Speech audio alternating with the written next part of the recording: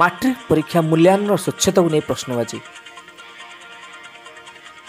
ନବମ ଶ୍ରେଣୀରେ ଟିସି ନେଇଥିବା ଛାତ୍ର ଦଶମରେ ପାସ୍ ହେଲେ କେମିତି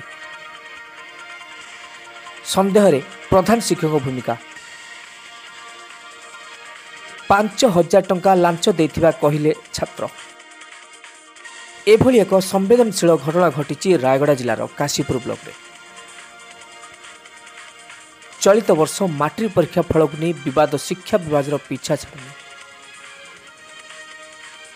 মাট্রিক মূল্যায়ন পরীক্ষাকে নিয়ে বহু মেধাবী ছাত্রছাত্রী অসন্তুষ্ট থাকবে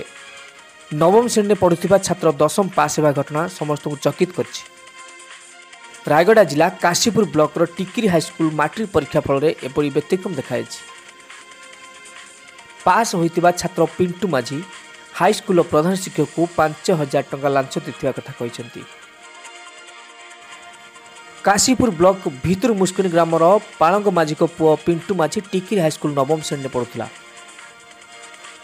ଦୁଇହଜାର ଏକୋଇଶ ମସିହା ଜାନୁଆରୀ ଅଠର ତାରିଖରେ ପିଣ୍ଟୁ ଅନ୍ୟତ୍ର ପାଠ ପଢ଼ିବା ପାଇଁ ସ୍କୁଲରୁ ଟିସି ନେଇଥିଲେ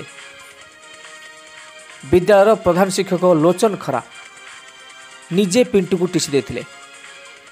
କିନ୍ତୁ ଟିସି ନେବା ପରେ ଉକ୍ତ ସ୍କୁଲର ମାଟ୍ରିକ୍ ପରୀକ୍ଷା ଫଳ ତାଲିକାରେ ପିଣ୍ଟୁ ପାସ୍ କରିଥିବା ଉଲ୍ଲେଖ ହୋଇଛି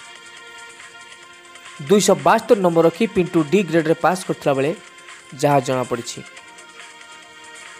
ବିଳମ୍ବରେ ହେଲେ ମଧ୍ୟ ଶିକ୍ଷା ବିଭାଗର ଏପରି ଖାମଖିଆଲ ନୀତି ସମ୍ପର୍କରେ ଖବର ପଦାକୁ ଆସିବା ପରେ ବର୍ତ୍ତମାନ ମାଟ୍ରିକ୍ ପରୀକ୍ଷା ମୂଲ୍ୟାୟନକୁ ନେଇ ସ୍ୱଚ୍ଛତାକୁ ନେଇ ପ୍ରଶ୍ନବାଚୀ ସୃଷ୍ଟି ହୋଇଛି খবর লোকলোচনকু আসা পরে পাস হয়ে ছাত্র পিন্টু মাঝি মাট্রিক পাস করা ପ୍ରଧାନ ଶିକ୍ଷକ ଶ୍ରୀଯୁକ୍ତ ଖରାକୁ ପାଞ୍ଚ ହଜାର ଟଙ୍କା ଲାଞ୍ଚ ଦେଇଥିବା একথা କହିଛନ୍ତି ଗଣମାଧ୍ୟମ ଆଗରେ ପ୍ରଧାନ ଶିକ୍ଷକ ଶ୍ରୀ ଖରା ଏପରି ମନ୍ତବ୍ୟକୁ ନେଇ ସନ୍ଦେହ ସୃଷ୍ଟି ହୋଇଛି